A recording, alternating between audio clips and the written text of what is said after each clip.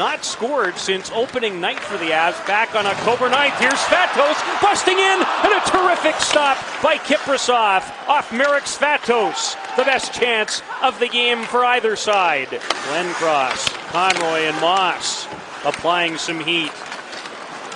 Adrian Aucoin, the big blast! You heard what it hit! Right off the iron as he tried to make it two goals in as many nights. Third straight kill by the Avs, and here they come. Hannan out of the box. Ryan Smyth stopped by Kiprusoff as Smyth tried to go upstairs on the short side.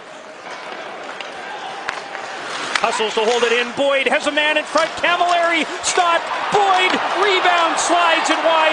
Budaj trying to get back in the net as Bourque is upended. Flames so close to scoring the game's first goal before Giordano came out of the box.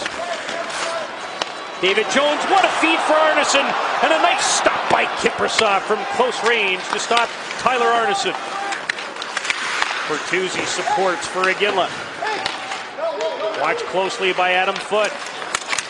Boy, there's a surprise to see those two on at the same time against one another. Giordano, nice play to free himself. Rebound scores. Daymond Langkow makes no mistake, and the Flames score first.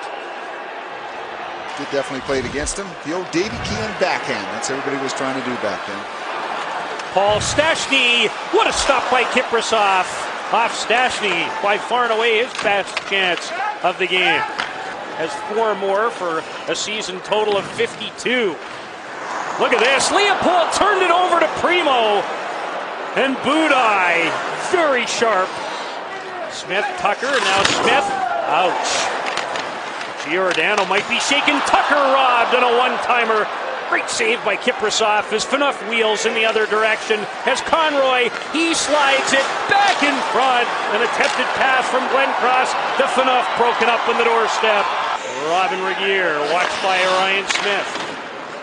Ahead it goes. Here's Conroy with Glencross. Glenn Cross robbed by the deflection. Terrific pass by Conroy to Glenn Cross. Ryan Smyth on Robyn Regehr. Nice move. Ryan Smyth robbed by Kiprusoff. Huge stop by Kiprusoff. Hooked up. There'll be an avalanche penalty. And a tough bouncer. Rebound. What a save off Glencross again by Budaj. Conroy trying to chip it out of the zone and does. And that should do it.